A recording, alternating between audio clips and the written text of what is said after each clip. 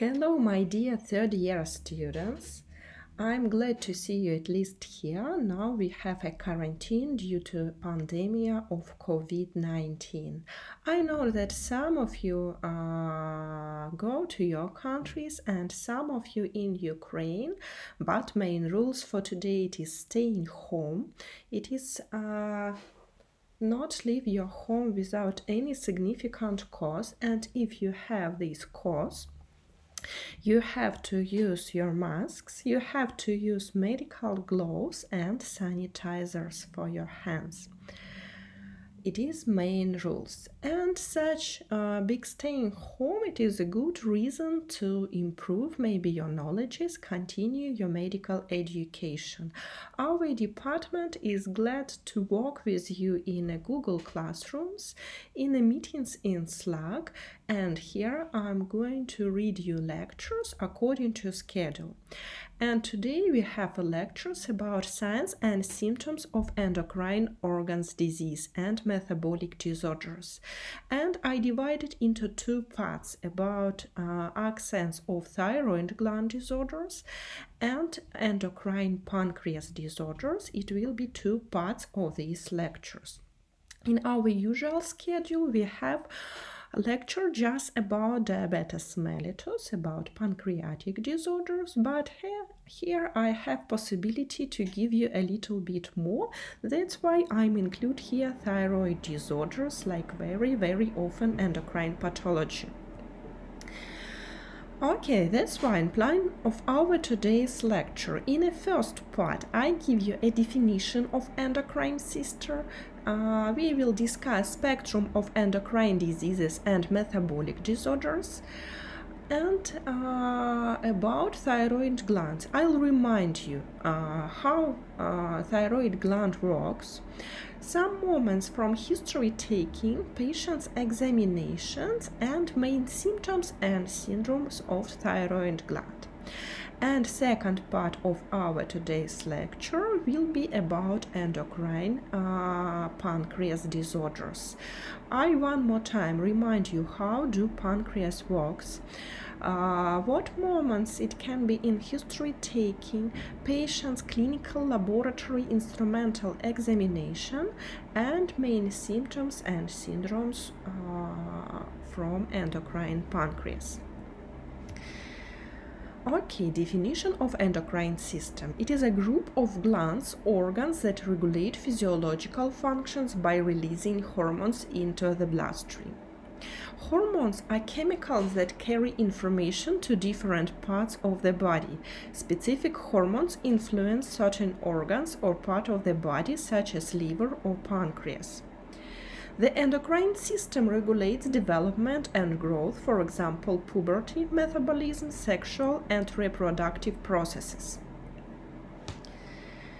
It includes the reproductive glands, adrenal glands, thyroid glands, hypothalamus, pancreas, and pituitary gland.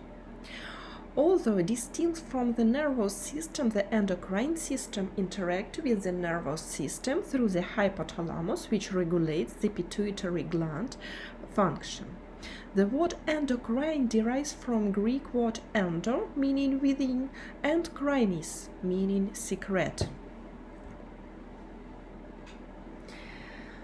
uh, spectrum of endocrine disease.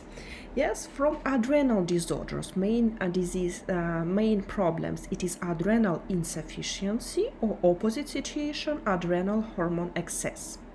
It is congenital adrenal hyperplasia and adrenocortical carcinoma. Glucose homeostasis disorders, it is diabetes mellitus and hypoglycemia. Thyroid disorders, main of them, it is goiter, it is hyperthyroidism, opposite to it, hypothyroidism, thyroiditis, inflammation of thyroid gland, thyroid cancer, thyroid hormone resistance. Uh, problems with calcium homeostasis and metabolic bone disease. It is hyperparathyroidism, hyperparathyroidism, pseudohyperparathyroidism, osteoporosis, osteitis deformans. It is rickets and osteomalacia. From pituitary gland disorders, it is posterior pituitary diabetes insipidus, and from anterior pituitary, it is hypopituitarism, pituitary tumors, hyperprolactinemia, acromegalia, gigantism, Cushing disease, uh, growth failure, and dwarfism. What about sex hormone disorders? Disorders of sex development, hypogonadism, disorders of puberty, menstrual function disorders. Tumors of the endocrine glands not mentioned elsewhere. Yes, without significant specific localization. It is multiple endocrine neoplasia and carcinoid syndrome. Okay, let's start discussing thyroid gland. First of all, hope you remember anatomy. Yes, the position of thyroid gland you see here at this picture, it is under the complex of cartilages, yes, cricoid cartilage, uh, thyroid cartilage. Uh, under the isthmus, it is placed of thyroid gland. Uh, laterally, uh, it limited by sternomastoid muscles, right and left. Okay, what is the primary function of thyroid gland? Primary function of it, it is production of hormones. We have two hormones uh, main hormones of thyroid gland it is T3 and T4 and additionally it produces calcitonin. Up to 80% of the T4 is converted to T3 by organs such as liver, kidney, and spleen.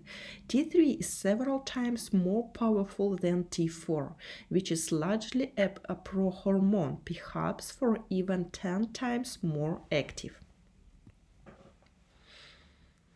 The production of T3, T4 is regulated by thyroid stimulating hormone released by the anterior pituitary. The thyroid and thyrotropes form of negative feedback loop. TSH production is suppressed when the T4 levels are high. The opposite connection. T3, T4 act on nearly every cells into the body to increase the basal metabolic rate, affect protein synthesis, help regulate long bone growth and neural maturation. The increase of body sensitivity to catecholamines by permissivus. T3, T4 are essential to proper development and differentiation of all cells of the human body. T3, T4 also regulate protein, fat, and carbohydrate metabolism, affecting how human cells use energetic compounds. They also stimulate vitamin metabolism.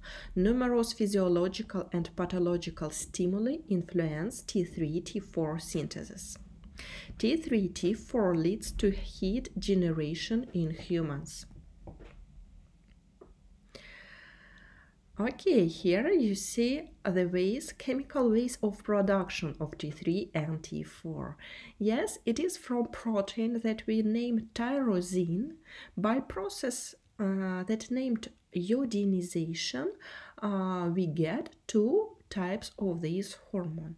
If a molecule of tyrosine include four molecules of iodine during iodination, uh, we get thyroxine or T4. If tyrosine during this process get three molecules of uh, iodine, we get at 3 iod thyronine or T3. The thyroid secretes about 80 milligrams of T4 in normal person, but only 5 milligrams of T3 per day. T3 has much greater biological activity, about 10 times greater than T4. We discussed that T4 is just a prohormone.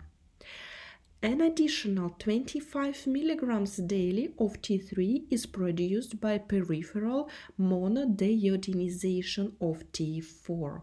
Yes, how we get part of T3 after uh, iodinization and including of four molecules of iodine in tyrosine, it can be opposite process when thyroid gland remove one molecule and it goes from T4 to T3.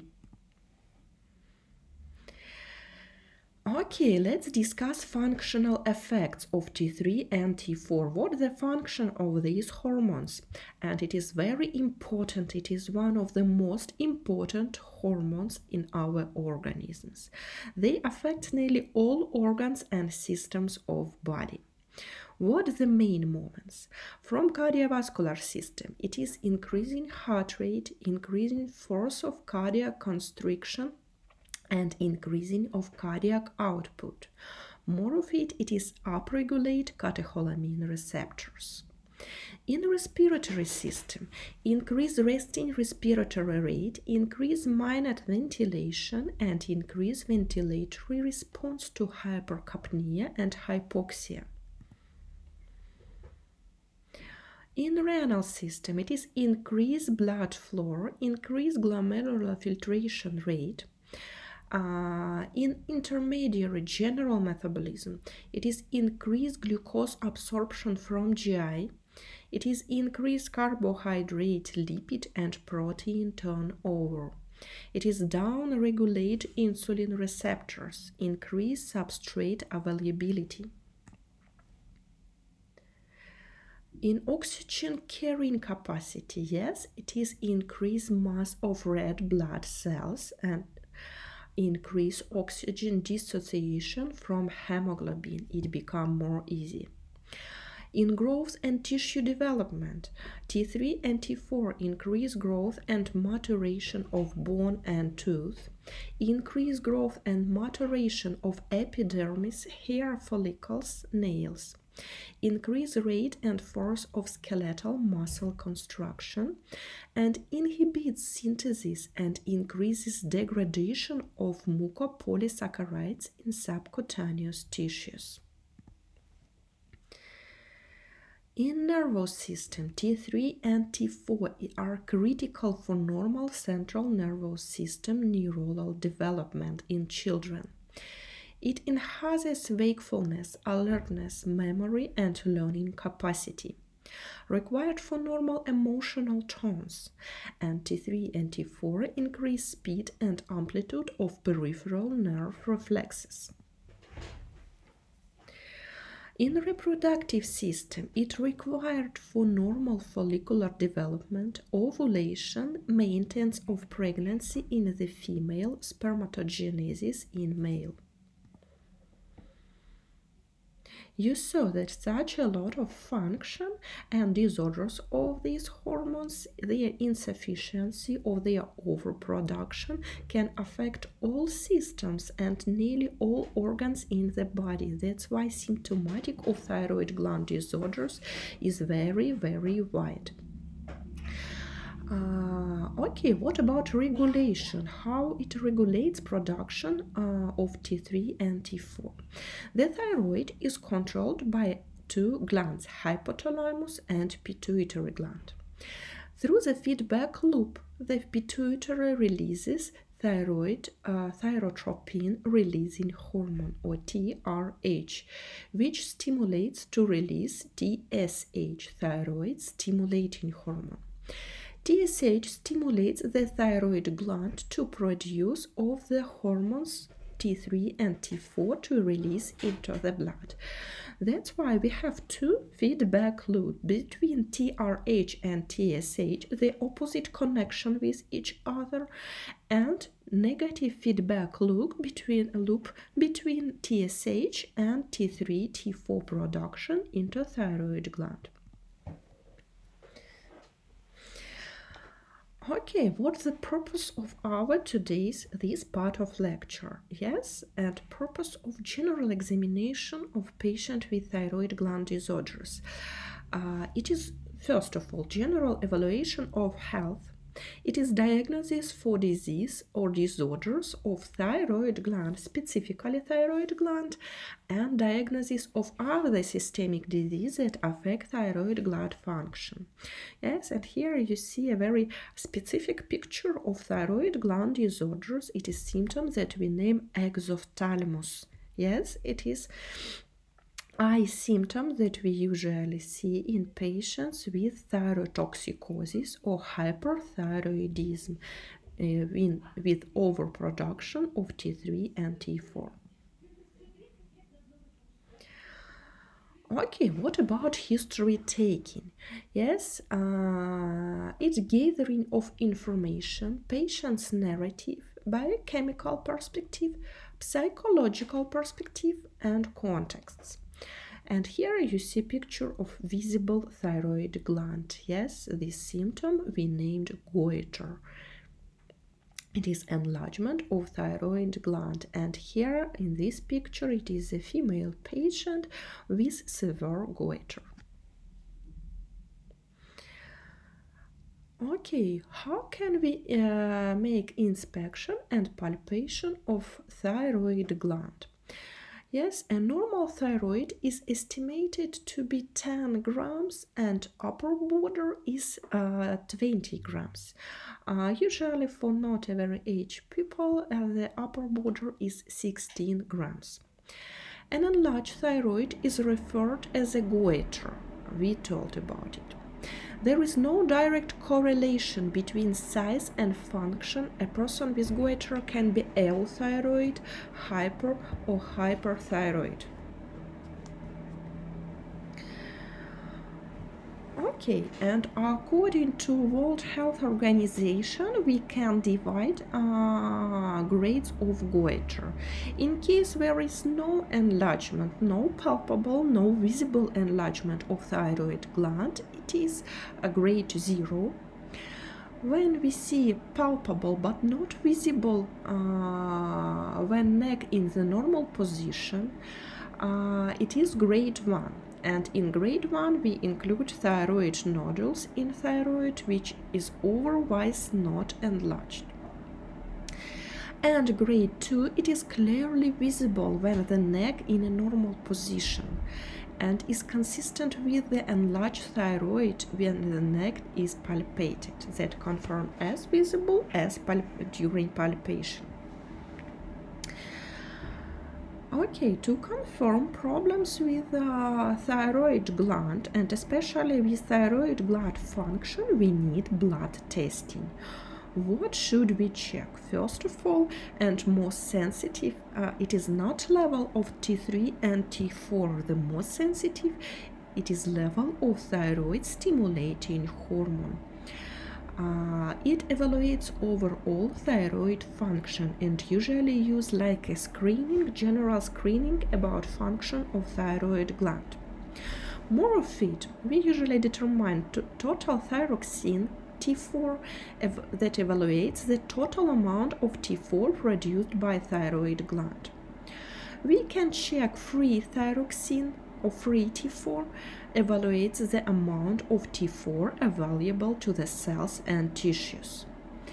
And we can check free uh, 3-iodothyronine uh, or free T3, measures the amount of T3, its active form of hormone, available to cells and tissues. Okay, uh, well, how can we check the thyroid panel.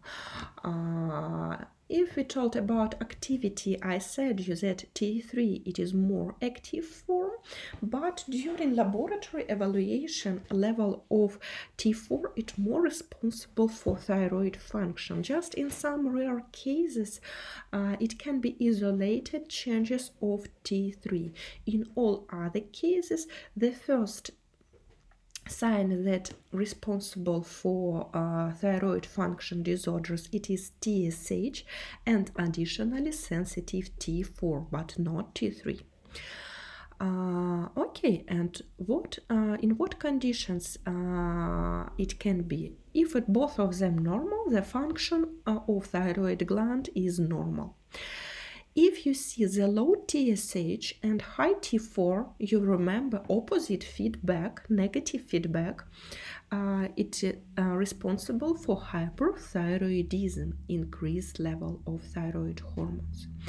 If we see the opposite situation, the high TSH and low T4, it is primary hypothyroidism. It is the most often situation and endocrinological clinic, primary hypothyroidism. But in some cases, we see laboratory decreases of both of them. It is TSH and low T4. It can be in secondary hypothyroidism problem goes not from thyroid gland it goes from the pituitary. Okay what laboratory uh, examination? Yes one more time. High tsh or normal uh, and normal T3, T4. It possible situation, I told you that TSH, it is most sensitive and most early sign of, uh, of thyroid disorders. We name it mild or subclinical hypothyroidism. When it changes, changes just TSH and T3, T4 still normal, they are still compensated when we see a high TSH and low T4 and low or normal T3, like less sensitive sign, it is usual clinical hypothyroidism. In case of low uh, TSH with normal ranges, still normal T3, T4, it is mild or subclinical hyperthyroidism. Uh, in low uh, TSH and high T4, it additionally can be high or normal T3. It is clinical hyperthyroidism, or we name it thyrotoxicosis. When everything is normal, low TSH, low T4, low T3. It is a non-thyroidal illness. Uh, uh, it is rare cases and most of them pituitary problem or pituitary hypothyroidism. And it can be situation, it's rare too, but possible when it is normal TSH by high but high levels of T3 and T4. We name it thyroid hormone resistance when it is enough of hormone production but abnormal sensitivity of tissues to this hormone. Okay, more of it we can check thyroid antibodies. Uh, most cases of uh, thyroid function problem caused by autoimmune process, autoimmune inflammation in thyroid gland. And to check and confirm this autoimmune process, we can with uh, checking level of thyroid antibodies. What kind of antibodies we can check? It is thyroid peroxidase antibodies thyroid uh, thyroglobulin antibodies and thyroid stimulating hormone receptor antibodies three main types of antibodies. It is additional uh, of each antibodies uh, for example, thyroid peroxidase antibodies. It is more usual, and uh, in most cases, we check these antibodies because we can see it in most cases, more than maybe 80% of all thyroid problems. It is Hashimoto thyroiditis and uh, Graves' disease, two main thyroid problem, and for both of them responsible thyroid peroxidase antibodies. For uh, thyroglobulin antibodies, uh, they can say us about uh, suspicion of thyroid cancer and additionally they can increase in Hashimoto thyroiditis too. And thyroid stimulating hormone receptor antibodies, uh, they additionally can be responsible for Graves' disease. Okay, we can visualize thyroid gland and most uh, first choice uh, diagnosing here it is ultrasound. Here you see sonography pictures of thyroid gland. In first picture uh, you see nearly normal structure uh, thyroid gland. By arrows it showed right lobe, left lobe. Uh, dark colored round in a right lobe. It is normal too it is picture of artery and in the middle of it more dark region it is a place of trachea.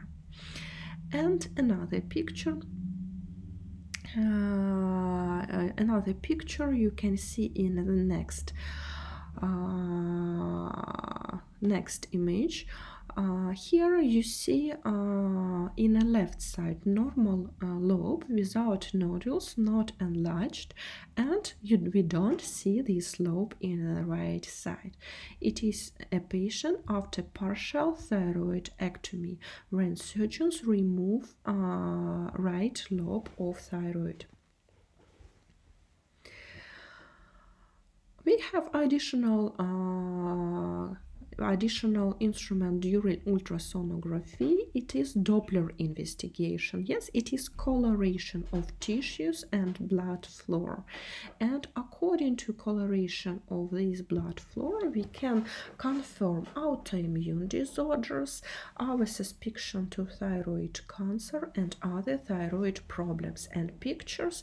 I showed you in previous lecture. Doppler looks like different colors uh, uh, of blood flow from the red till the blue. Okay, we can uh, do uh, radioscintigraphy scanning. Uh, yes, it is accumulation of radiological ions in thyroid glands. And here you see example. If in picture A it is normal structure, yes, some mild accumulation of ions in Graves' disease. I remind you, it is autoimmune disorder. Uh, it is much more strong accumulation of radioactive iodines in both lobes. It is diffuse. Uh, increased accumulation with any uh, significant localization of increased or decreased accumulations. Okay, uh, we can do a thyroid biopsy uh, in patients with nodular uh, goiter. In patients, especially for patients with suspected cancer, we have to do biopsy. And you see that under the control of ultrasonography, it is uh, in a left arm of uh, doctor uh, in computer we see a picture of thyroid gland because usually we do biopsy of some structure not spontaneous place of uh, thyroid gland but some structure or nodule or cyst or suspected cancer or some structure uh, of thyroid gland. And when you visualize with sonography this uh, sonography of thyroid. You see the structure in computer. With in right arm you see uh, that surgeon do biopsy of this place of this structure We can do CT scanning of uh, thyroid gland. Usually, in most cases, it enough sonography, ultrasound of thyroid, but uh, in not uh, some not exact cases when we are not sure what is here, we can uh, like second choice diagnosing use uh, CT scanning of thyroid gland. Yes, and we told that most organs and systems are affected by thyroid gland disorders, and on first place we put uh, cardiovascular disorders, like one of the most danger and most often problems in thyroid disorders. Yes, and uh, arrhythmias it is one of the more one of the often problem to confirm arrhythmia we use ECG electrocardiography. And here you see example uh, Uh, of ECG in patients with thyroid gland disorders. In a first strip, upper strip, it is not normal. You see that rhythm is irregular. It is non-sinus. It's in such way it looks atrial fibrillation, and it is often problem. And it usual as for hypothyroidism as for hyperthyroidism. And second picture, it is for uh, for example, I give you a picture of normal sinus rhythm to compare with atrial fibrillation. Okay, uh, let's say several words about main problems. Yes, I told you that most cases it is primary hypothyroidism. What the etiology of primary hypothyroidism? Most cases it is autoimmune Hashimoto thyroiditis with or without goiter. One uh, more times, a very important moment the size of gland and function of gland do not connected with each other at all. It can be normal size uh, thyroid gland with hyperthyroidism, with hypothyroidism, each situation. And it can be huge, very big goiter with hypothyroidism, with thyrotoxicosis, with normal function, each situation. And not any connection in size of gland and function of gland. Uh, that's why Hashimoto can be with goiter or without. without. Uh, okay, it can be a result of radioactive iodine therapy of Graves' disease. It is inadequate treatment of thyrotoxicosis. It can be result, hypothyroidism can be result of subtotal thyroidectomy of Graves' disease or nodular goiter. Yes, it is iatrogenic, but it's not a mistaken. Yes, thyrotoxicosis even more danger. That's why first of all we decide problem with Graves' disease, with iodine therapy or with surgery, and if like a complication we get uh, we get hypothyroidism, it uh, just a result and we just give a replacement therapy for patients. Uh, it can be uh, hypothyroidism uh, can be caused by excessive iodine intake. It can be uh, caused by subacute thyroiditis and more rare causes like iodine deficiency. Uh, it is goitrogens such as lithium yes lithium drug using it is antithyroid drug therapy, inborn errors of thyroid hormone synthesis. And secondary hyperthyroidism, yes, it's much more rare situation, but possible in our real clinic. It caused by hypopituitarism. Yes, abnormal stimulation from upper gives hypothyroidism in thyroid glands. It can be tertiary hyperthyroidism or hypothalamic dysfunction and it can be peripheral resistance to the action of thyroid hormones. Yes, one more time, problem not in thyroid, problem is abnormal in abnormal sensitivity of tissues to these hormones. Okay, age aspects of hypothyroidism. Uh, it can have early onset, like in childhood, uh, in result of delayed incomplete physical and mental development, maybe development of cretinism. Yes, it is severe form of hypothyroidism in children. More later uh, onset, but in youngs. It usually causes the most uh, danger problem. It is impaired physical growth. And in case of adult onset, uh, fortunately, it is the most often situation. For today, children much more less suffer from hypothyroidism. In adults, we name it myxedema. Uh, it is gradual changes occur like tiredness, lethargy, decreased metabolic rate, slowing of mental function and motor activity, cold intolerance, weight gain, goiter, hair loss, dry skin eventually may result in coma in very severe cases of myxedema.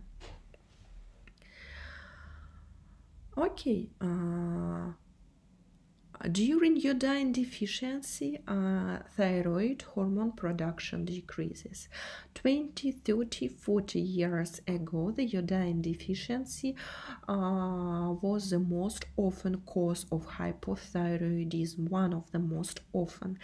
And a lot of countries and a lot of regions uh, like uh, suffer from endemic or regional goiter due to iodine deficiency.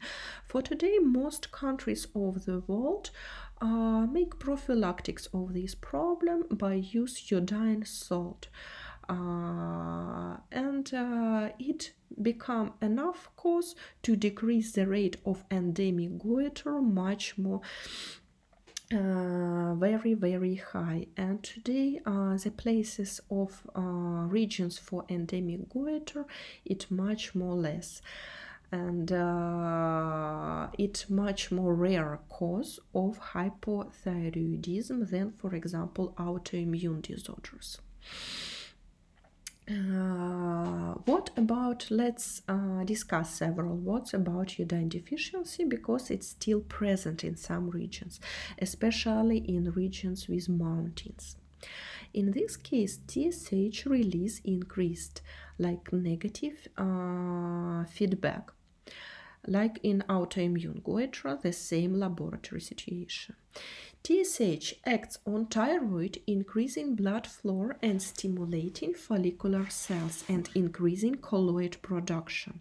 But the only result is that the follicles accumulate more and more unusable colloid because no iodine for it.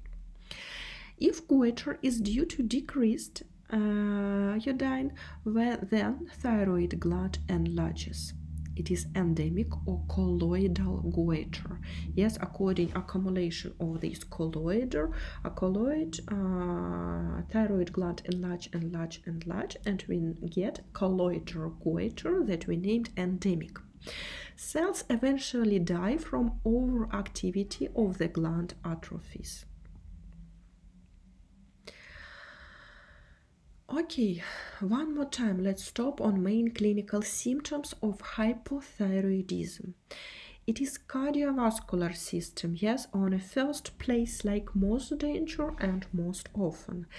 It usually bradycardia, but here be attentive. Very often patients uh, with hypothyroidism according to bradycardia and some pauses in heart walking, got episode compensatory episodes, uh, paroxysms of tachycardia.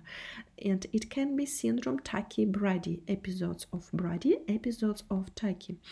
And uh, in this case, uh, um, bradycardia and pauses, they are most often asymptomatic or subclinic, but uh, episodes of tachycardia patient feel like palpitations.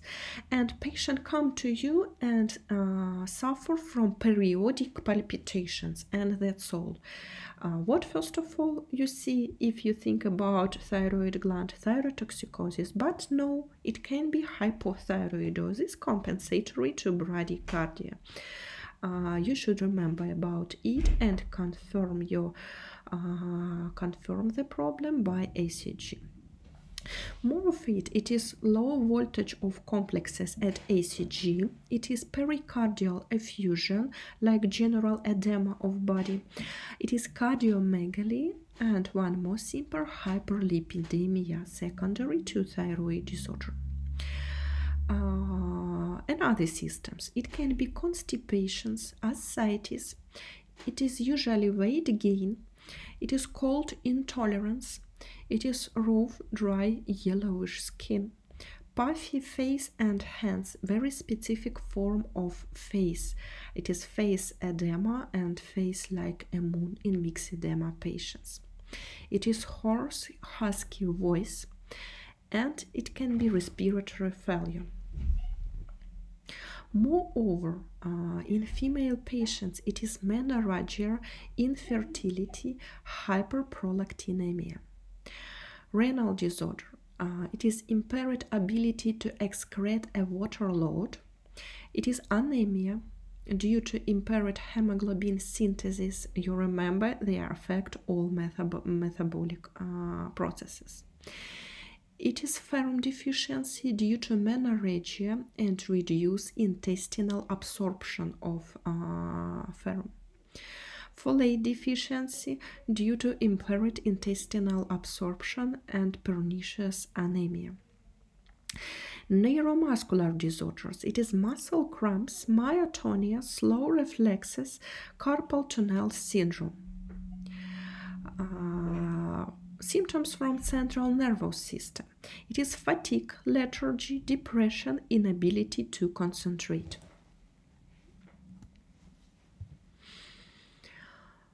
To confirm diagnosis of hypothyroidism, yes, one more time remind that it is decreased level of free T4 at increased level of TSH. In mild cases, it can be normal T4 and increased TSH. Serum T3 levels are variable, they can be normal or decreased. Positive test for thyroid antibodies uh, because most cases we discuss it is autoimmune disorders uh, and an enlarged thyroid gland. Yes, uh, like in most often cases, Hashimoto thyroiditis, uh, most often it goes with goiter. Uh, decreased T4 and TSH inappropriately normal. Uh, it possible in myxedema. Uh, more rare but possible absence of TSH response to TRH in pituitary deficiency. Uh, and one more time, subclinical hypothyroidism, increased TSH, T3, T4 normal. The most danger and most severe form of hypothyroidism it is myxedema coma medical emergency and end stage of untreated hypothyroidism. Here you see pictures how an attempt can be patient with uh, untreated form of hypothyroidism uh, clinically, it looks with progressive weakness, stupor, hypothermia, hypoventilation, hypoglycemia, hyponatremia, shock, and death. The patients or a family member may recall previous thyroid disease, radioiodine therapy, or thyroidectomy. Uh, what else? Uh, it usually have gradual onset. It's not spontaneous. It's not very urgent. It is gradual onset of lethargy progressing to stupor or even coma. It can be marked hypothermia less than 24 uh, by Celsius, heart failure, pneumonia, excessive fluid administration, narcotics. Uh, on ECG, we usually see bradycardia and low voltage of complexes.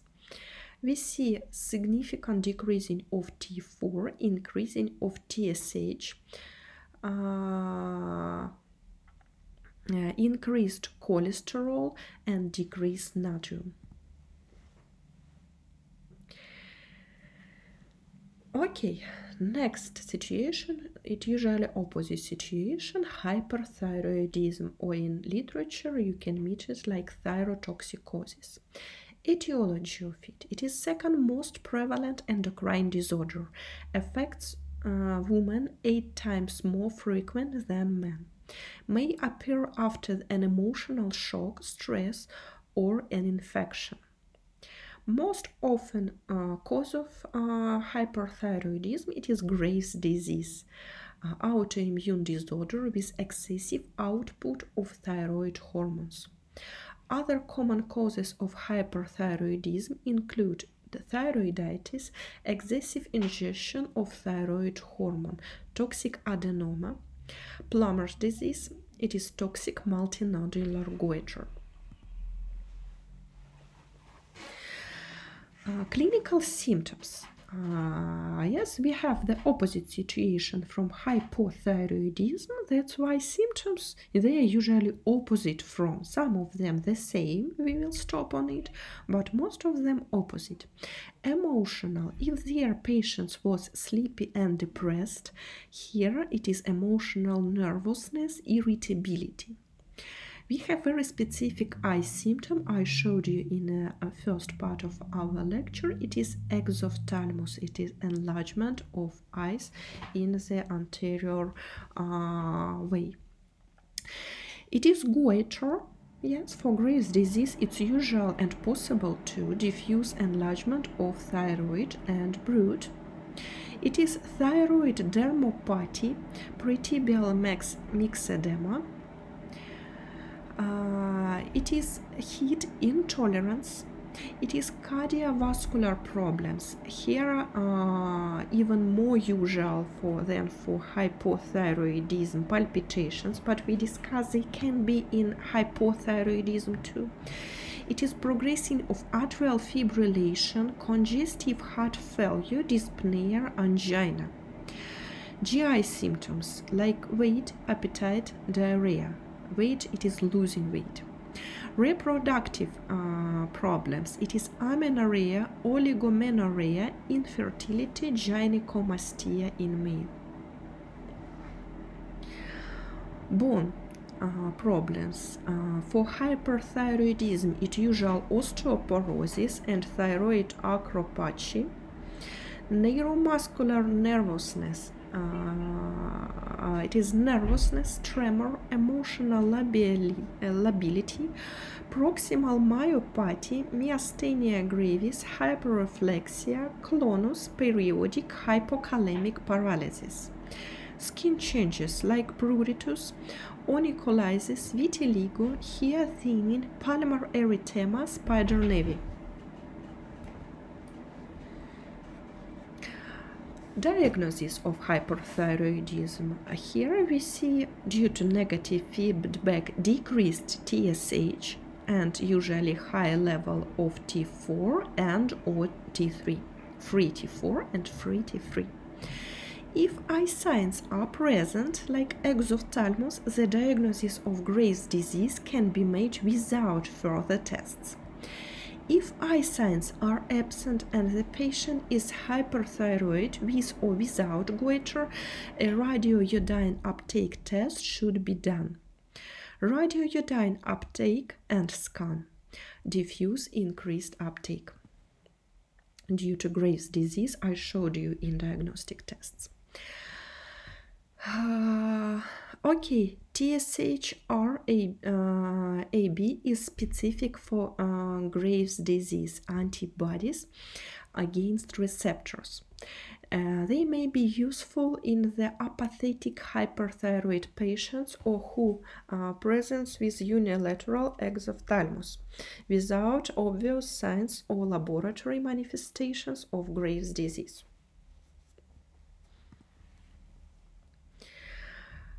The most dangerous situation we name thyroid storm or thyroid crisis. Sorry, one moment. Uh, what is thyroid storm? If there was myxedema coma, here we have uh, thyroid crisis. It occurs in severely hypo, hyperthyroid patient caused by a precipitating event such as infection, surgical stress, stopping antithyroid medication in Graves' disease. Usually it goes uh, thyroid storm, uh, it is spontaneous disorder, but it caused by some provoking factor like infection, like surgery, like some other concomitant disease or spontaneous stopping of antithyroid therapy in Graves' disease. Clinical clues of thyroid storm. It is fever, hyperthermia, uh, uh, hyperthermia, marked anxiety or agitation, and it can go in most severe cases to coma. It is anorexia, tachycardia with going different of tachyarrhythmias, most often atrial fibrillation. It is pulmonary edema, cardiac failure, hypotension uh, that can go to the shock in most uh, severe situation and confusion. Okay, uh, it was uh, main moments about thyroid problems. It is finishing of our first part of endocrine lecture for the uh, third year students. Uh, I will be glad to answer to your question, maybe to read you some comments uh, here in YouTube. I ask you to write your names and groups in comment under, under the video uh, because we want to see who listening our lecture, who interested in our lecture. And in Facebook, it will be linked to this lecture. And in comments in our closed group on Facebook, I waiting for your questions, for your comments, and all uh, maybe your reaction to this lecture. See you in second part about endocrine pancreas disorders.